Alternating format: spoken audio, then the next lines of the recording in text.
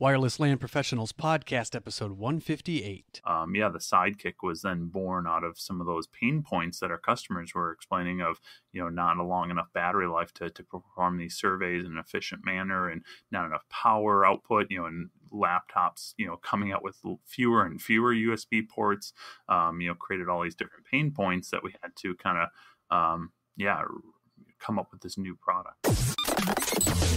Wireless LAN Professionals is a place to educate, inform, encourage, and entertain those involved in wireless LANs. This Wireless LAN Professionals podcast is an audio manifestation of these goals. Our host is a wireless LAN veteran, consultant, designer, and teacher, Keith Parsons. And now, the podcast for wireless LAN professionals by wireless LAN professionals.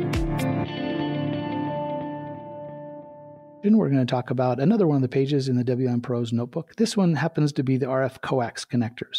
Uh, very simply, we put on here a, just a visual picture of the different types of connectors you might be running across as a wireless LAN professional, um, specifically so you can look and see the the naming convention we've used for things like male and female have usually been something that's obvious. It's the the big parts you see, but specifically in our world and in the, the connectors we use, the male and female is more about what the inside pin is doing rather than what the outside is doing. In fact, sometimes uh, the outside looks like it's female, but it's actually a male on the inside, or sometimes it's reverse. It's a female on the outside and looks like a male on the inside. So um, we need to to call them properly. We're going to be we'll call them either jacks or plugs, and you'll have a pin that's male or female. So we can have a male plug with a male pin or a female jack with a female pin and a whole bunch of combinations. And so we just gave you pictures of all these. So when you're looking, shopping, uh, reviewing hardware that you see on, on site or something, you can quickly review and take a look at it. If there's any other thing you'd like to add as a resource that you use on a, on a daily or weekly basis at your work, just let us know and we'll add it to our next version of the notebook. Thank you. Let's get to know our colleagues and friends with a shared passion for Wi Fi. It's time to search who is. Well, Jerry, welcome to the show. Thanks for being here. Hey, thanks for having me on, Matthew. I'm uh, excited to uh, to be on. Yeah. So, for those who don't know you, tell us a little bit about yourself. Yeah, what's the world of Jerry looking like? The world of Jerry. Wow, that's uh that's quite the movie setup title. there. Yeah. Man, sounds so exciting. I didn't realize I had that uh, that kind of title. Um, Yeah. World of Jerry today is uh yeah, it's a it's been an exciting, you know, start to the year and you know, we're already over halfway through the year here, but uh um, at the beginning of the year I changed roles within Ekahau and uh, went over to the product management side and Okay. um, still, you know, even you know, six plus months down the road, still learning the ropes and stuff there, but really enjoying it, and uh, you know, all the new challenges that that come with that. Very cool. So you're with Ekahau, and um, you've been with Ekahau how long now? Uh, it's been uh, what about two and a half years already? Wow. It's uh, yeah, it's flying by, but uh, I've been enjoying the ride. With that transition and now two and a half years and uh, job change within Ekahau, what has changed about your perspective on Wi-Fi, the industry, maybe just even technically? What things have you have you learned more about Wi-Fi, or just what's changed? Where's your perspective come from in the last two and a half years? Yeah, it's an interesting question, and you know, thinking about even yeah, with the role changes of you know how that's kind of changed some of my perspective. You know, where previously, you know, prior to Ekahau, I was an Ekahau customer for a number of years, using the tool. You know, boots on the ground, designing Wi-Fi networks, deploying Wi-Fi networks. Um, and then, yeah, kind of changing, you know, going into a sales engineer role for a while, and you know, really just talking about Wi-Fi and the tools, and you know, you know talking with our customers but now my perspective is uh, more around uh, the features and you know the products themselves and and really trying to see a bigger picture right of where the needs are in the industry um, you know Mm. how we can improve products and uh, you know add additional features and functionality to the the tools that exist today So you're you're I guess interfacing with guys who now are boots on the ground. What are some of the common things people are running into, are talking to you about, are setting schedules and appointments with you? Like, what are some of those common pain points that you're running into? Yeah, I mean, Wi-Fi is everywhere, so it's yeah, it's been really eye-opening to see where Wi-Fi you know is being used, and and just really the the common theme is is about criticalness, right? Of just how Wi-Fi is becoming more and more critical, yeah. and that's really driving the need on you know where my role is and where you know where I fit in is yeah, figuring out how we can improve the tools that are are there today, and you know continue to develop them to meet the needs that uh, our, our, users and you know just the, the, people that are on the ground running these networks day in and day out as well as deploying these networks you know what tools do they need? What visibility do they need?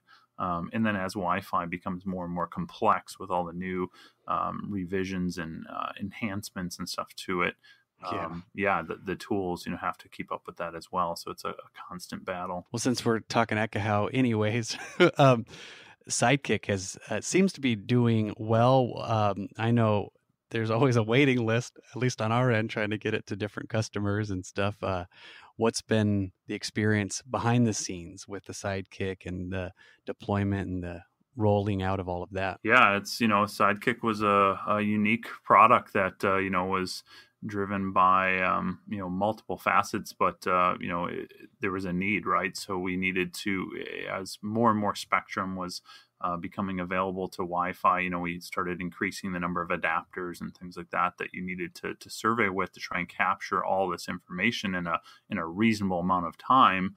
Um, but then that created other pain points of you know battery consumption and things like that. So um, yeah, the Sidekick was then born out of some of those pain points that our customers were explaining of you know not a long enough battery life to, to perform these surveys in an efficient manner and not enough power output. You know, and laptops you know coming out with fewer and fewer USB ports. Um, you know, created all these different pain points that we had to yeah. kind of um, yeah come up with this new product. with adapters on top of adapters. Exactly. Yeah. You, you know, you've got all these. Uh, you know, you you've got MacBooks now that don't even have a standard USB port on them.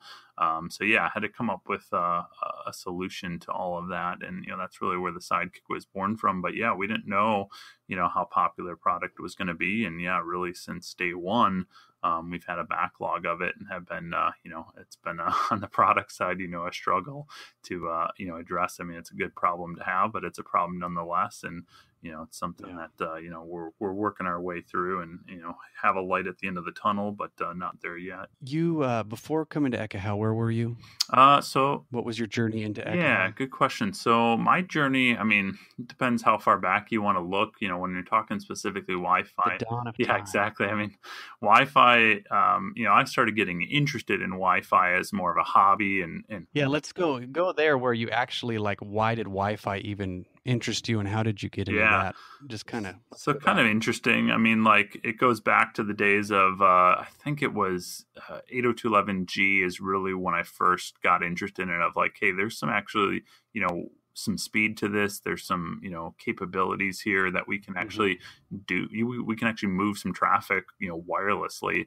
And um, I ended up picking up like a, a Linksys WRT 54G uh, router. You know that's when I kind of got on board with the whole Wi-Fi thing. I you know used external antennas, so I was able to go online, buy an external antenna, and got really into this whole thing of uh, I didn't was this just like in your home, or was this actually in a uh, helping a customer no, no, or something? Is, yeah, this is all hobby, like at my home. And okay. um, to be honest, like I didn't really have a lot of interest in the the Wi-Fi piece for my own usage. Like I was using a desktop computer. There wasn't really, yeah, I had the house all wired up with Ethernet. So like to me, I didn't really, it didn't really appeal to me. But I'm like, hey, you know what? I've got you know some neighbors, right? So I ended up actually getting like a business internet connection for the house, putting an external Wi-Fi antenna on the house. Like I didn't know anything about RF at this time or Wi-Fi or anything of the mechanics yeah. how it worked.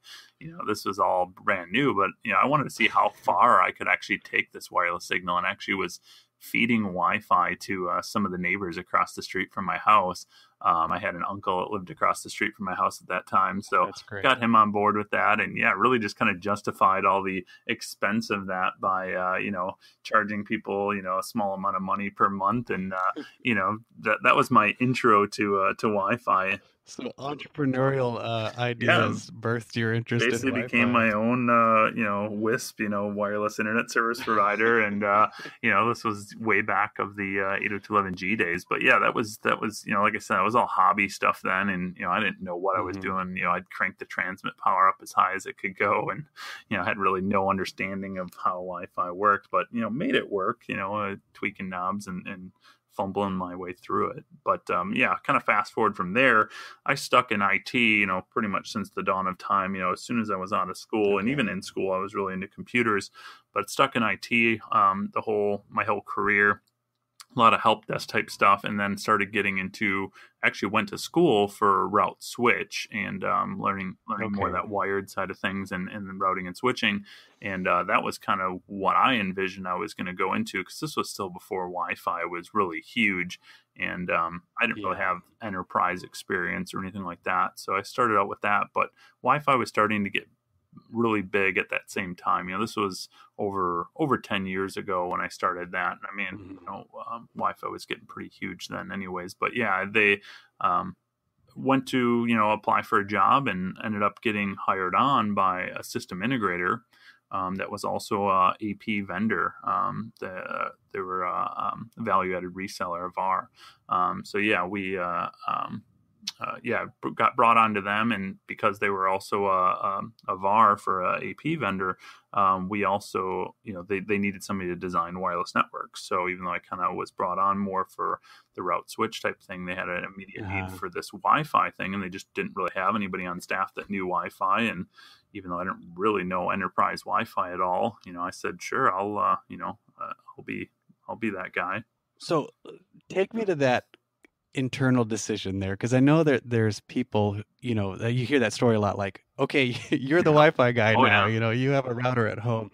Was there a, a moment uh, as like, sure, I'll try this, like who why not? Was there was it fear like, oh man, I, I should do this, I want to do this? Uh, what was kind of going on when you were willing to say yes or kind of take I mean, honestly, a lot of it was, you know, it was me getting my foot in the door like th- this is this was kind of what i needed to do to get my foot in the door right? So like and you could recognize that like i need to do something i need to this is an opportunity? Yeah exactly. It's kind of like this this organization i didn't have a lot i didn't really have any enterprise experience at that point and this company hired me on that's dealing with all enterprise type um, mm-hmm. gear and it's like you know they're giving me this opportunity here you know i'm gonna say whatever to you know kind of get my foot in the door and it's like you know it's it, I mean it was definitely interesting to me like uh, you know I, I, ran my own WISP. Yeah exactly. well of course you know I mentioned that stuff in the interview to, to show that there was definitely some interest there but uh, yeah so I ended up you know being brought on essentially as the wireless designer um, given a bunch of Wi-Fi tools and uh, you know no training you know just pretty much handed these very expensive wi-fi tools and said you know here's what you need to do your job and i had to yeah. basically figure it out from there was it like literally on the job or did you have a, a, a space a time where you kind of played with those in a safe zone or did you go right out there and start learning oh yeah it by doing it was like my second week on the job or something like that, I was at a, a, customer site in like Nebraska or something like that. And I had like one other colleague that was with me that was uh, at least somewhat knowledgeable with the tools and, and more mm-hmm. knowledgeable than I was as far as Wi-Fi goes. But it was pretty much like, you know, here you're going to this customer site, you need to do a survey, and uh, they're having some problems with their Wi-Fi, and you need to figure out, you know, what's wrong with it and create a remediation plan. And you know, it was like literally yeah, like the second week on the job. Like I, I, I think I was installing the tools on my laptop you know what, like, what, was your list of tools back then do you remember what oh yeah i was uh, yeah i was using um, AirMagnet was uh, the first tool that i ever had exposure to um, yeah i think i had the whole AirMagnet suite. Um, that's just what the company had at the time when I was hired on, you know, 10, 10 plus years ago there. Yeah. Uh, I guess, yeah, it wasn't 10 plus years that I was there, but yeah, it was probably about at least six or seven years ago there. But yeah, so I was given the whole suite, installed that, and had to, you know, stumble my way through it and figure it out. And uh, yeah, while I was on site at a, a customer site, you know, basically, and going through the whole process of figuring out how to use it. So it was a, it was a bumpy start for sure. Um, figured it out though. We did solve the customer's problem. You know, it uh, probably took about twice as long as it should have, um, but uh, you know, stumbled their way through it, figured it out. At least you probably had a little bit of the uh, the wizard behind the curtain. They didn't know any more than you did, so Yeah. you were. Uh, Yeah. They didn't know how long it should take. So exactly. No, we fixed the we fixed the issue. We actually, um, you know, they were really happy with the results of it, and um, eh, you know, hired us on to do a bunch more projects after that. Really, uh, that kind of set a, a chain of events there of doing a bunch more work for that uh, large customer. Um, you know, really even internationally. And then was it in that role and with that VAR for for a while until Ekahau, or did you take a, a different journey from there? Yeah, that really uh, kicked things off. I was with that organization for um, uh, for about two years. Um, Okay. And uh, that really kind of set me on the whole yeah the the whole journey that I guess is kind of taking me where I am today. But um, yeah, that was a big turning point, and uh, yeah, started from there learning about you know so yeah as soon as I got all the stuff and I realized how over my head I was, I'm like all right, I need to figure out you know some some training or something to to Yeah. learn this stuff. Um, I went through the Ruckus Wise uh, training. That was one of the first Okay. Training things that I was exposed to um, through the organization that I was at, and I went through all that and, and learned a lot. That was really helpful to kind of yeah, just kind of kickstart things. Um, then there was really three main things that I can think of that stand out to me. Uh, if I was to give anybody, you know, something to to get started on a journey, and the three main things that stick out to me was the CWNP program, um, WLPC, and Twitter Ah. Those were the three things that would definitely stand out to me as the the biggest influencers on my career and my journey. Where are you on the CWNP uh, certification level now? Yeah, so CWNP, I've uh, achieved the CWNE certification, the the Certified Wireless Network Expert, What's your number? uh, 238, Nice. and achieved that. Um, it was probably I don't know, I guess less than a year ago now, but uh, yeah, um, a little over six months or so ago, I think I uh, obtained that. Um, but yeah, it was about a two and a half year journey for me from start to finish of the the CWNP uh, program. Um, but yeah, I don't remember which one of those three things CWNP, Twitter, and WLPC, which one of those came first. Um, but uh, each one of those played a significant role, I would say, in my you know journey and career. So those would be my three. That's really interesting. So we've got a certification training program, a conference, and then social media. Yeah. How did those interplay together to help move you along and strengthen you in your in your industry in your career? Yeah, so CWNP, specifically the CWNA uh, certification, was a, a huge one for me. So that's the yeah, the, it's you know it's a great way to kind of break it down from there. You got your training, your your conference, and you got your social media, and I think each one of those adds a significant amount of you know value when I look at that to. To, to my career and my journey. So CWNP that was, you know, that real structured training that I needed of, you know, just laying the groundwork of you know what Wi-Fi is, the mechanics behind Wi-Fi, and um, you know testing your knowledge, right? Having that certification and just building that confidence piece, right? So being able to take those exams, say, okay, yeah, check that box. I do, you know, uh, know that I meet this kind of level in the industry of this this knowledge. Um, and yeah, the CWNA was, you know, a really good one for me because it gave me that That's broad understanding of, you know, Wi-Fi and, you know, just really to me opened up my eyes to how much I didn't know, right? The whole CWNA Yeah. uh, process, and there's just so much content in that, and it's so valuable, and yeah, just really kind of set the the course for where I wanted to go career wise. Um, but yeah, then from there, you know, somewhere in that process, early on in the CWNP program, I found out about WLPC. Probably got on Twitter and then heard about uh, WLPC. Uh, maybe even like reading CWNP, it mentioned something about Twitter. I don't know. Uh-huh. I'm not sure where I got on the Twitter kind of bandwagon thing, but um, I never used Twitter prior to being in Wi-Fi, and actually today, even still, I don't use Twitter for anything else other than really Wi-Fi. Um, you know, I don't use it as you know interacting. And how are you using it? How is it useful? What does it do for you? How do you interact with it? And and what does that mean? You're using Twitter for Wi-Fi for uh, yeah for Wi-Fi. Yeah, so to me, Twitter is uh, is my Wi-Fi news feed more than anything. Okay. Um, so that's you know where I stay up on top of Wi-Fi and Wi-Fi related events. Um, you know, uh, and just you know a lot of other wireless professionals and, and keeping up with them and interacting with them um, on there. But yeah, I would say more than anything, it's my news feed, right? So that's you know Wi-Fi is just ever changing. So CWNP really laid the groundwork for that, but you know stuff is just constantly evolving in Wi-Fi. So then I use Twitter to kind of uh, supplicate that and, and stay on top of Wi-Fi related. Uh, Okay, so in a real, let's go real practical. Someone who's just like hates Twitter, like you know, it sounds like you weren't using it before. yep. You jump on, you create a profile. Where now are you finding, and how are you actually um, beginning to build your your feed, your news feed? Where are you going? What are you doing? How would someone get started with Twitter? Maybe that's a way to ask that question. yeah, yeah, it's a good question. I'm trying to think back when I first got on Twitter. I I, mean, know. It's I- once you get started. yeah, it's kind of this ball that just keeps just rolling, right? But um, yeah. I think it's just all about you know you start following a couple of other like-minded people of you know other wireless Mhm. professionals, and then you know Twitter is pretty good at you know hey you might want to follow If this person, follow this suggest guy, this yeah. person, yeah. So yeah, I would say you know you know f- for example if you follow myself at j o l at j o l l a at jola if you will.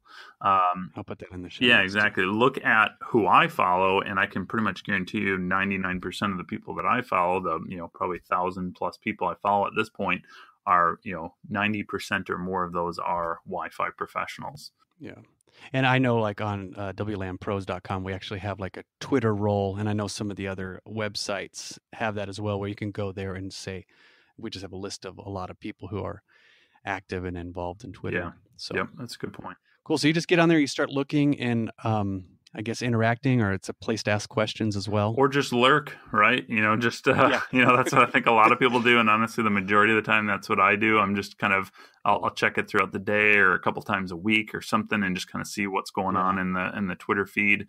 And uh, you know, I, I find out all sorts of interesting stuff on there that uh, I probably would not see otherwise. Honestly, I wouldn't have this job at Ekahau if it wasn't for Twitter. Like that was a huge thing for me. Like uh, I saw the tweet from UC um, and uh, in about the job posting back when I was hired on originally, and uh, you know checked it out through Twitter, and and I doubt I would have seen that job posting or go. ever would have uh, you know yeah ever would have gave it a second thought if I hadn't been following UC on Twitter. So we started talking about this with your journey. Um, you're going through, you're having different experiences. This job comes up. Talk a little bit about making these job switches. What was going on? What what predicated it, and what kind of gave you the impetus to say, "Hey, I want to check this out"? Was it you want to dive into something different? Was it just looking for a change? What was that like for you? As far as when I took the job with Ekahau, you're saying? Yeah, like why why change a job? Yeah. Why why take that? Why make that move? Yeah, that's- what was going that's on? a- to, That's a great question because, yeah, honestly, when I did uh, apply for the job at Ekahau, I was not looking for another job. Honestly, when I saw the job posting, um, I, I said, hey, you know, I know some people in Wi Fi. Um, you know, I had a job in Wi Fi at the time. Um, and uh, actually had just started with that company, even uh, was only with them for about six months or so before I saw that Okay. job posting and uh, read through the job description and just really liked the job description type of thing. I'm like, you know, this this checking all the boxes of things that I I would like to do. So you saw an opportunity that you weren't necessarily looking for, but because it came on the radar and it seemed like a more ideal fit for you, is that kind of Yeah, and I just really like the company as well. You know, as a customer theirs for a number of years and interact with some different people on the, the support side and the product side uh, prior to all of that happening, and just really liked um, what I saw there as a company, and you know, thought it would be a good fit for me to to join on. So let's go back to the younger Jerry. Yeah. uh, any advice you'd give to yourself starting out that maybe um, you wish you had had, or some encouragement? What would you tell yourself that 10 plus years yeah ago? i mean honestly i'm pretty happy looking back at the journey not to sound uh you know i don't know whatever prideful or whatever but like you know i'm pretty happy with the way the journey has gone um if anything i would say you know I, I should have gotten started earlier, right? Like as far as like Mm. if I would have known about the CWNP and um, you know known about those kind of programs has gotten started on that kind of stuff sooner, um, you know that would be about the only thing. I mean, I'm you know there's been definitely you know certainly has not been a completely smooth ride you know along here, but all of those kind of bumps and challenges and stuff along the way, uh, you know. In the end, I, I've appreciated and I've learned through that. Um, I think you know I needed that. I couldn't just you know go from point A to, to point Z type of thing. You know, I, I needed those uh, steps along the way. In your kind of vantage point where you're at now, what's something you're seeing in the industry maybe that's frustrating, or if you could wave the magic um, antenna, The magic antenna. what would you change? Nice, I like it. Um, I guess yeah, I don't know as far as it, in the industry. I think the you know I think one of the big challenges is just education. Um, in just you know looking at even my own career of just the fact that you know I was hired on with no knowledge and just kind of uh, given the tools and really wasn't um, given the training you know to to do the job. I think you know I would like to see employers more um, you know more open to that of um, if they are going to bring somebody on that's more junior and doesn't have that kind of experience, that they're going to be at least willing to invest in that person and train that person. Um, it seems like that's a reoccurring theme that I do hear from a lot of people is, you know, they're at a company and, you know, they've got a, um, pay all this out of their own pocket and they don't get a lot of support from their employer.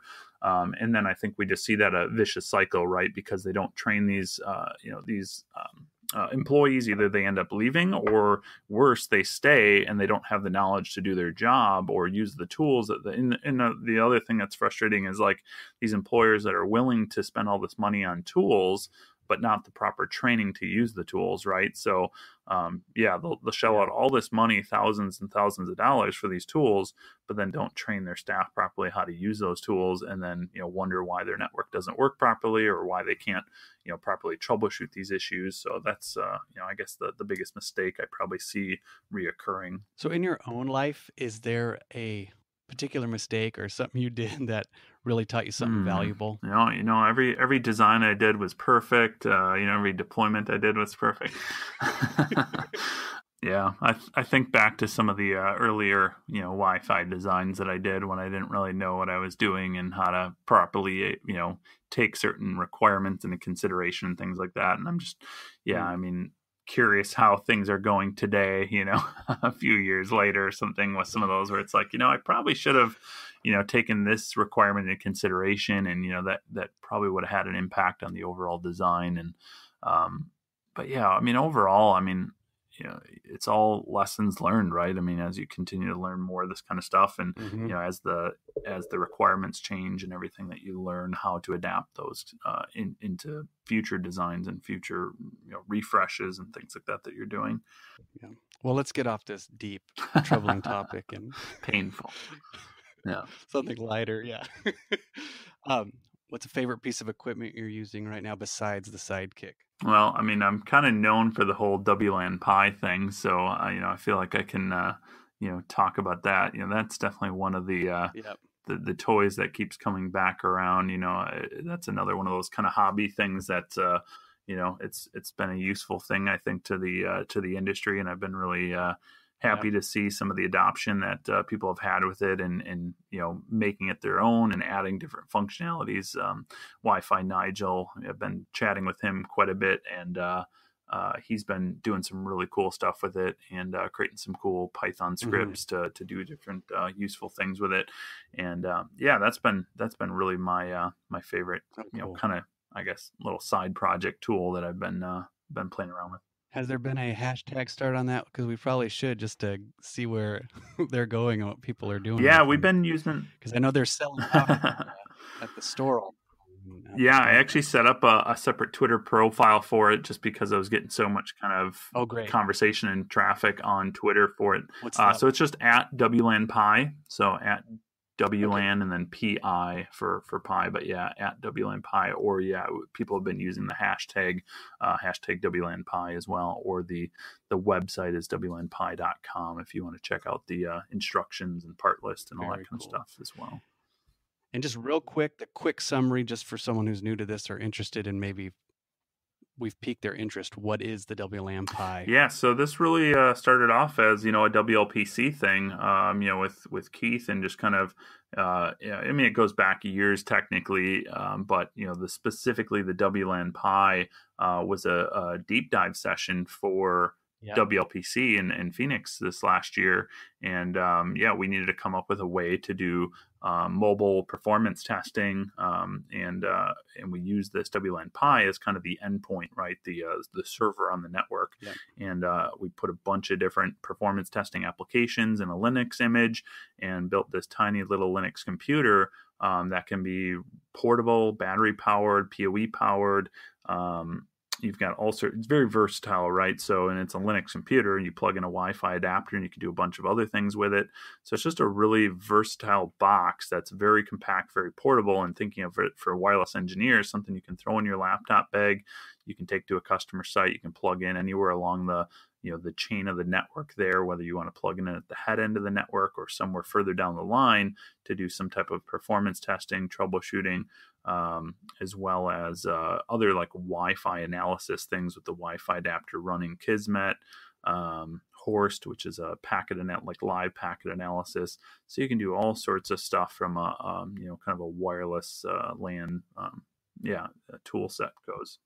Very cool. And they can get them on uh, WLANpros.com on the store. There we have them. They're back ordered right now, but we have got a bunch more coming in. So very cool. Jerry, thank you for your time and for sharing any last bit of Wi Fi wisdom for the world, for World of Jerry. Oh man, last bit of wisdom. You know, like like like we talked about. I mean, as far as career wise goes, um, you know, I'll just re, re reiterate the whole. Yeah, CWNP, uh, Twitter, and WLPC. Uh, if you're not on those three things and you're serious about Wi-Fi, that's my uh, my last bit of wisdom. Get on get on all three of those and attend WLPC. Beautiful. Thank you, sir. Thanks, Matthew. Appreciate it. All right. Thank you for joining us for another episode of the Wireless LAN Professionals Podcast, the podcast for wireless LAN professionals by wireless LAN professionals. Be sure to follow us on Twitter at Wireless LAN Pros for all the latest news and updates, and also connect directly with Keith on Twitter at Keith R. Parsons. Head over to www.wlanpros.com for this episode's show notes, as well as the latest in all things Wi Fi.